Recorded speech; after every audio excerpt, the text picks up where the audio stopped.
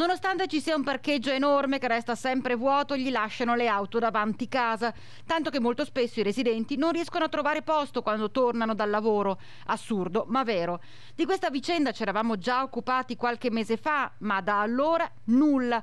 Uno dei residenti ha chiamato ancora una volta Rete Veneta per vedere se la situazione si sblocca. Siamo lungo strada delle scuole, laterale di via Monsignor Rodolfi, in centro studi a Bassano. È da otto anni ormai che continuano a parcheggiare là. Mi sono lamentato col comune, con i vigili, con la scuola, ma non, non è stato più risolto niente. Noi da via non avevamo mai il parcheggio libero.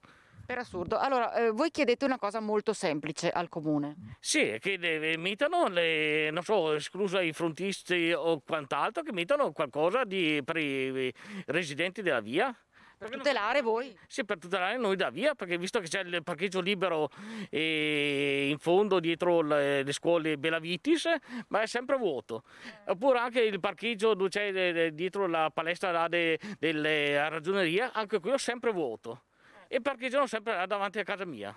Abbiamo sentito basterebbe un cartello di divieto parcheggio escluso frontisti e a nulla sono serviti i reclami che il nostro telespettatore ha fatto più volte in comune. Ho provato anche a chiamare, andare anche da Sino Pavan ma non sono mai stato mai ricevuto e per cui non, eh, il problema persiste e, e se non prendono provvedimenti persisterà per sempre.